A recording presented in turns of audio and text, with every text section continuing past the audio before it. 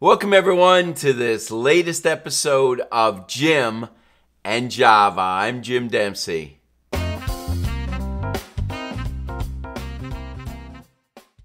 Well, welcome everyone as we start to move into the new year. Uh, we are into the second week of the new year already. It's hard to believe that time is moving so fast. Uh, if you watched my video last week on Jim and Java, we addressed what are some of the key items that we want to be focusing in on in the new year. I'll link that video up above if you want to watch that video at another time. You're probably already just finishing up, if you haven't already finished up, on tying up the loose ends for the year. You probably, uh, things are starting to wind down a little bit now from your year on follow up. And I hope once again that you had just a, a great end of the year and that things are, are moving positively into a new year for you. So I'm really excited to have that. Uh, always excited to have you as part of this community of uh, individuals who are with a strong desire and striving to increase income and become fully funded. And I am just, uh, it, for me, I'm proud and it's a privilege to be able to be here to come alongside you and help you in your journey to do one of the most uh, important and sometimes, oftentimes, perceived as one of the most difficult parts of helping to run a nonprofit and being part of a nonprofit. And that is developing those relationships, building those partners for the long haul. And that's what it's my desire to make that easier for you. I don't want this to be uh, this part of your nonprofit responsibility to be a necessary evil to have to raise money. I'd rather it be something that you learn to just enjoy and to really grow in the experience of getting to share with individuals the opportunities that exist with your organization. Bringing people in as new partners and new owners with your organization, co owners, is one of the most exciting things that you can possibly do. And I'm excited to be here with you and to share those opportunities. So let's dive right in to our question for today. Our question today is from Sally in Colorado Springs, Colorado. And Sally asks, How do I keep up momentum after a strong year end? Our giving usually drops off a lot in January. Well, Sally, what a great question. I appreciate that so much. Um, I also love the uh, assumption that you had a great year this year, and I really do hope that you did. Uh, I hope that this was just a record breaking, a landmark year for your organization, and I do for each and every one of you. I really hope that you had a great, great year end, and I honestly hope that these videos help to contribute to that exciting year end. And I get it, January can sometimes be a real uh, can be a real downer from the standpoint that so many of your partners geared up with their giving towards year end, and all of a sudden it's it's like think the water just the tap just got turned off and the water stopped coming through the pipes and it can really seem like january can be a really difficult month. Uh, june for some reasons tends to be the same way as people start to head into vacations and they forget about their regular giving to their their nonprofit organization of choice. Uh, and so it really is important at this time, almost as much as any time, to really ramp up your communication at this time. Um, when you are if you have been dating someone for a long time and make the decision to ask someone to marry you that's not the time to let down and to say well the person said yes uh, we're now engaged or we are married and let's let up on the courtship. Courtship needs to be continued. As somebody who's been married uh, 39 years this year I know that courtship is extremely important, even as you head into your 20th, 25th, 30th, 35th year and nearing your 40th. Uh, those things are important. It's exactly the same with our partners. We need to make sure that when we get that year end gift, we don't kind of idle a little bit, uh, using a car analogy, don't idle in your relationship. Continue to keep your foot on the gas pedal. And what I mean by that is that you need to let them know the successes of how their money's used.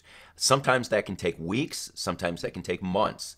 Uh, we have a standard practice in, in our organization of sending out reports six months from a person's gift because we find that it usually takes about six months to really see the full scope of how someone's money is used. And so we have a cycle that if someone gives on January 1, 2021, we're somewhere around um, July 1. We are putting out a uh, report to those individuals. Someone gives in July, we're putting out a report in December. Somebody gives in December, uh, and, and you understand what I'm saying.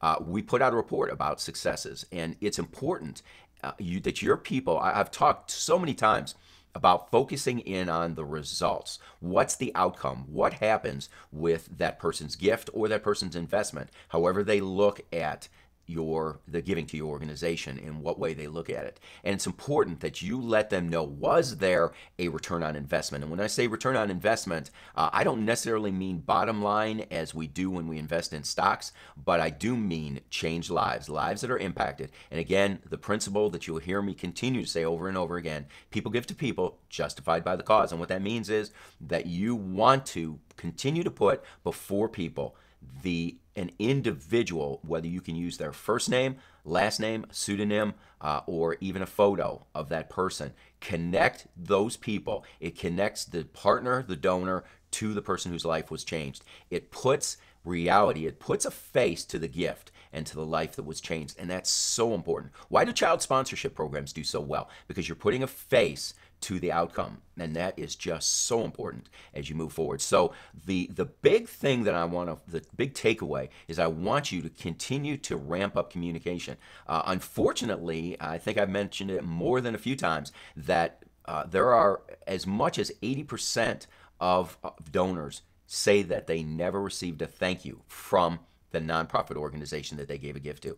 I hope you are not one of those organizations. I hope you got a thank you out the door in 24 is always one of my mantras, and so I hope you got that out quickly.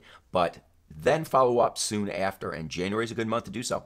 Follow up with some lives that have been changed as a result of their gift, or even lives are changed from gifts like yours. So it can still be, it doesn't have to be the exact person whose life was changed, but it can be people like this their lives were changed. But now is the time to ramp up the communication.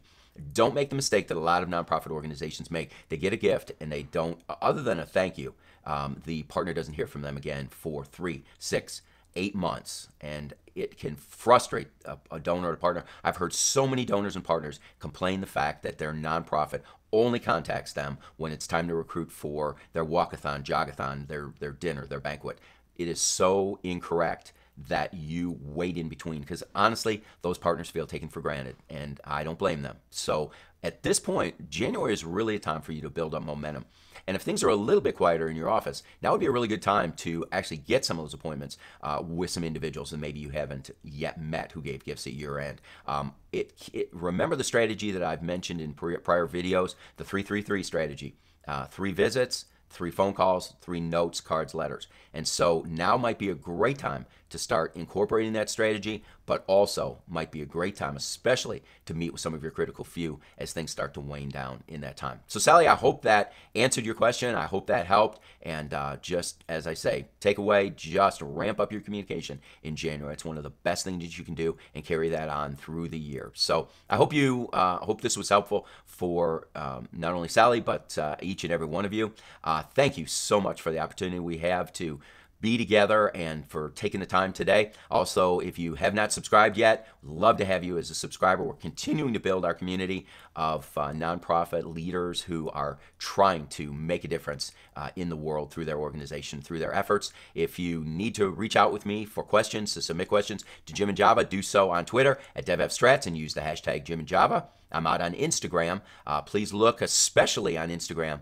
for our Monday morning three tips for increasing income for the week for you. Uh, we're getting great feedback from that series. You can reach me at Instagram at Dev Effectiveness Strategies, and you can always reach me via email at uh, developmenteffectivenessm at gmail.com. And look for me out on Facebook as well in our Facebook group, Development Effectiveness Strategies. So, as I always say, it is our goal to strive to help you increase income and reach the goal of becoming fully funded. Thanks a lot. See you next week.